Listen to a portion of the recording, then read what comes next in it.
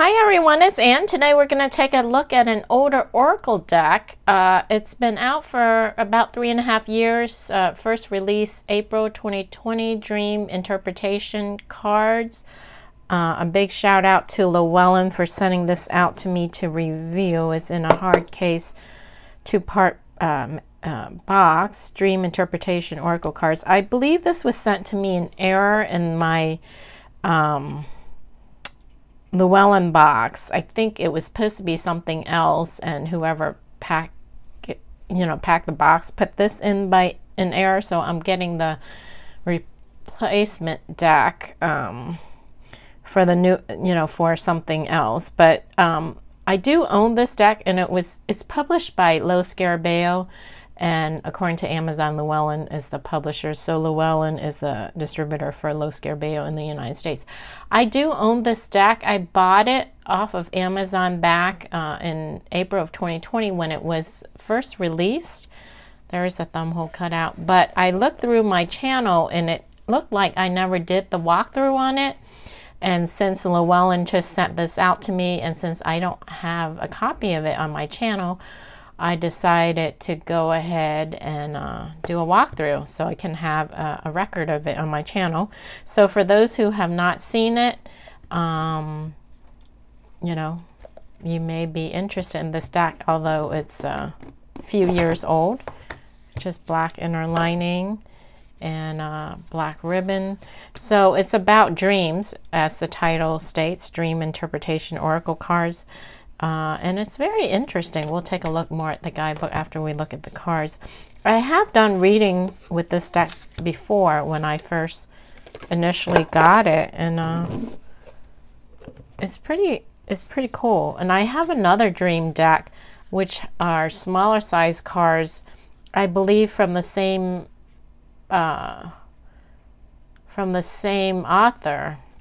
And then this was like the larger size version of it but I have not used those deck in a few years. So this is the brand new deck that uh, Llewellyn sent me the copy. So um, this may inspire me to start using it again. So here are the backs, very pretty purple, pink, blues. They are reversible, sides are not gilded. They are laminated, you can see by the reflection. It does feel plasticky, but not thick plastic, thin. A cardstock is uh, medium, flexible, bendable, pliable. It, it, it, looks to me like a Hay House Oracle card size. Um, comparing it to a traditional tarot card, it is a little taller and wider as you can see. And I actually do have a copy of a Hay House card here. Yeah, so it's about the same exact size as Hay House Oracle cards. So if you are familiar or own any of Hay House Angel card deck or Oracle cards, you will know. All right, so they are uh, borderless and uh, with the exception of this little border at the bottom and they are number and they do have a title. So this is Youth, Roots, Love, Fighting, art, travel, obedience, children, food, blessing, shoes, dogs, house, nature, riding, keys. Let's see if I can zoom in a tiny bit more. Money, sweets, doctors, bugs, books, moon, wedding, buying, mountain, music, sailing, loneliness, nudity, time, wealth, flying. There's a lot of people who have flying dreams, so I know flying dreams are very popular. This is very interesting. He's flying with the whole bed, though. Exceptionality, strangers, shouting, and last but not least, card 36, falling. That's another common thing in a dream as well, falling, people dreaming about falling. All right, so let's take a look at the guidebook. Little harder cover. Uh, pages are semi-gloss. It's in English, Italian, Spanish, French, Portuguese, and Russian. Dream cars. We spend about a third of our lives dreaming and a fifth of it daydreaming, and perhaps the rest of the time we are not always fully present and completely conscious. Imagining events that are not quote unquote real may seem a useless activity in our prosaic everyday life, but if that is right, why did nature give us the power to dream? It did so for various reasons, all of which are extremely important. Dreams allow us to sort out thoughts. They gratify us for positive events and scare us to warn us about negative ones. Dreams allow communication between the conscious and unconscious, between the rational mind and deep consciousness.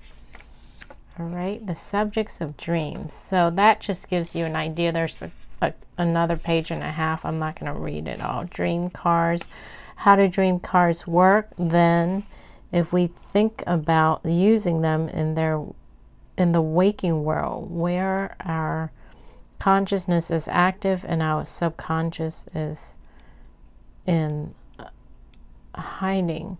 We need to be well aware that these cards are not a divin divination system. We cannot use them to ask questions and find answers. Their purpose is rather to help our conscious side and make it more receptive in listening to our more profound side by using both projective and meditative mechanism mechanisms plural. A mechanism is projective when the self introduces its own person or parts of the self into something external. An easy example to help us to understand this is when a person looks at a drawing that lacks context such as two people facing each other the human mind tends to complete the context through a projection of its own value, desires, or fears. Thus, in the eyes of one individual, the two people facing each other are talking. For another individual, they are friends, or for another, they are in love, perhaps a projection of their desires. And for someone else, they are arguing, perhaps a projection of their fears Conversely, a meditative mechanism indicates the presence of a contemplative process capable of absorbing the object of meditation in a holistic rather than an analytical form, and then turning it into intuitive seeds that enrich the eye on a conscious level and on a profound level. In practice, the dream cards can help us to process our dreams by studying their projection into the images on the cards, and then to meditate on the process in order to find clarity, inspiration, or peace of mind. All right, so these cards, as we see, the deck is meant for dream interpretation. However, I have used them uh, as clarify cards for divination along with tarot, you know, my, my tarot readings in the past. So they do work. Archetypes and dreams. But the author's intention is to, in creating this deck, is to help you interpret your dreams. And they're meant to be meditational type of cards. That's why they, they're, they're so different. Use of the cards, Before using the cards, it is a good idea to relive the dream or dreams you want to benefit from.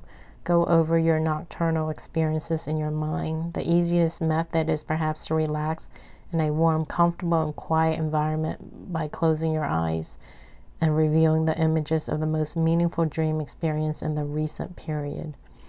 One important up one important tip is also to perceive the physical and emotional sensations and to feel with intensity all that was experienced in the dream.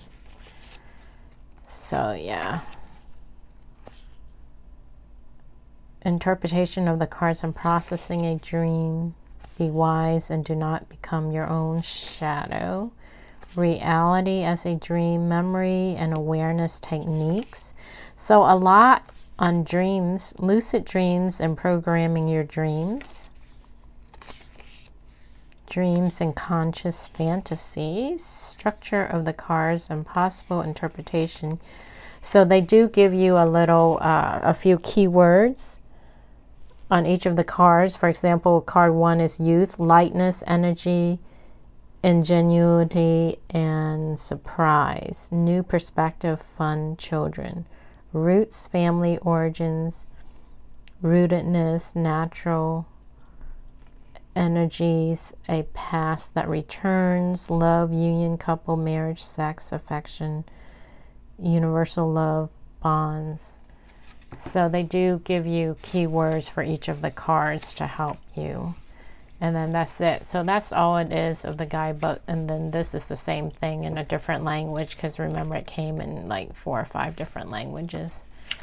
All right, so if you're interested in dream interpretation or trying to understand your dreams or looking for a good uh, meditation deck, you may be interested in this deck. But like I said, if you like and resonate with these, these cards and or the key words, I have used them in the past uh, for different divination readings, and uh, I remember I they, you know, they worked and they read well for me as a uh, clarifier deck in my tarot card readings. So, you know, to each his own, but the intent of the author is to help you interpret your dreams. So hopefully that uh, helped you understand the deck. As you can see, it's very different, but it's very nice. I really enjoy using the deck, so I might start using it again. So there's no accident, right? Why I suddenly got this deck again sent to me. All right, so I hope you enjoy that. Uh, a big shout out and thank you again to Llewellyn for sending this out to me. And uh, if you are interested in purchasing the deck or checking it out, reading more about it, I will put the links in the description underneath the video. Thanks for watching, and I will catch you again on the next video. Bye!